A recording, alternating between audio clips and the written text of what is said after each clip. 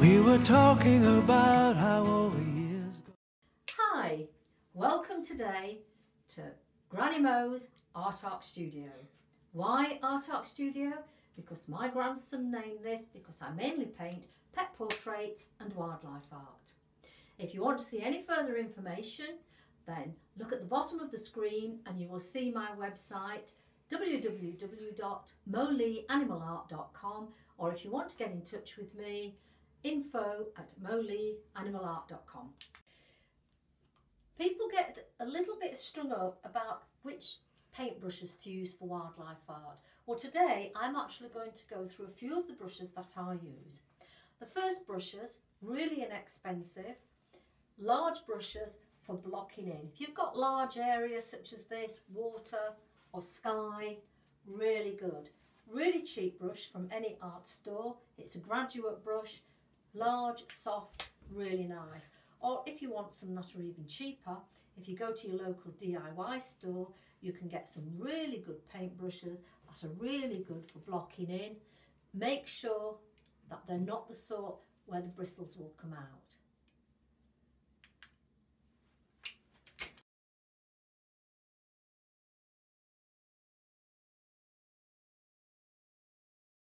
So what kind of brushes to use? Well brushes are quite personal. You'll find a, a, type of brush that you find really good and I've used several types and I mainly work in oil paints or acrylics so that's something you've got to consider when you're buying your brushes. No point buying watercolour brushes if you're going to be use oil.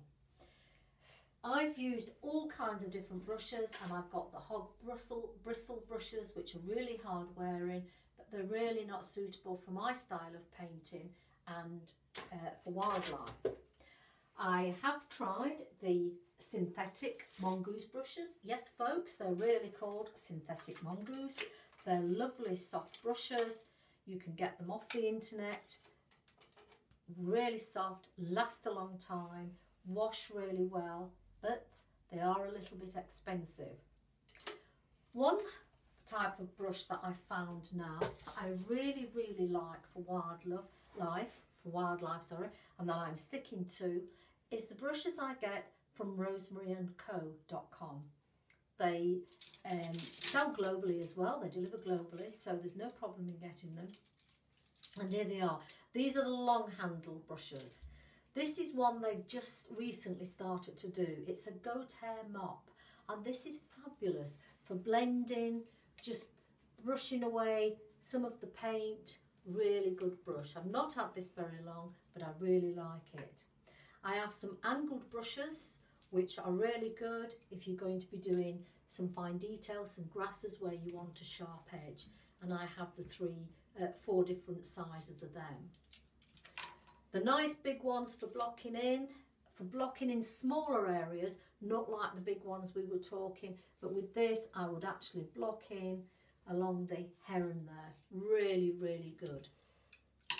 Combs, I don't use combs really for feathers, but some people like to. They're the ones where they've got a comb edge. I'll show you this in closer detail um, at the end of um, when I've shown you what brushes I use. And then I have the smaller ones, the little flat edges for doing fine feathers. I can actually do feathers with these quite easily and different sizes. The round ones, which again are useful for if you're going to do eyes or anything like that. So these are my collection of rosemaryandco.com. I've also had a new delivery, so I'm going to go through the delivery, how they actually come delivered to your door.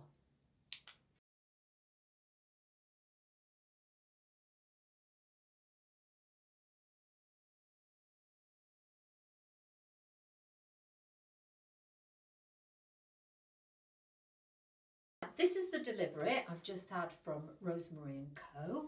And I have opened the sides, so let's take a look what's inside. Always comes really nicely packaged and delivery is really good. Two or three days and it's always here. You never have to wait very long. One of the nice things is they always send you a thank you, which I think is really nice. They've also sent me, because I'm promoting Rosemary & Co, they've also sent me a few extras. So this is quite exciting because I don't know what they've sent. There's always a little catalogue. You can say you don't want the catalogue if you've already had the previous ones, but it's really good. And there's a really good thing in the middle of this book with some of the brushes and some of the brush marks they make. Really interesting. There's all sorts of good tips in that. Right, so let's have a look. One of the brushes that I use a lot and are absolute must for wildlife art are the rigger brushes. They don't last an awful long time because obviously because they're so fine, but for doing whiskers, hair, that absolute must. And I have some here which I've already used and I usually have the naught, um, the two, but I never usually go above the four. I always have the smaller sizes, but a fabulous little rigger, rigger brush and really nice from Rosemary & Co. I've tried lots and I really like these. Right, these are round brushes. They're not brushes I've, I've used an awful lot in the past, but now I really like them. I don't go for the really big sizes. These are sort of from the two, the three, the four and the six, but really useful for doing spotting or some fine detail work. Really nice collection to have. Again, all these brushes are not very expensive. They can be as cheap or as expensive as you want, but these are usually just a few pounds. Rosemary & Co. have sent me, because I'm promoting them on a video, they've sent me some free brushes. They've sent me a little mop, a comb and a smooshing brush. And if you look in their catalogue, the smooshing brush is a new brush that they've just, um, so I think it's for blending and, and dry brushing. So these are the brushes I use. If you'd like more details of anything I use on my website, then please look on mollyanimalart.com. And my next tutorial is going to be about how to make an art studio from a very small space. And if you like what you've seen, get in touch with me or subscribe to my YouTube channel. Thank you. We were talking about how all the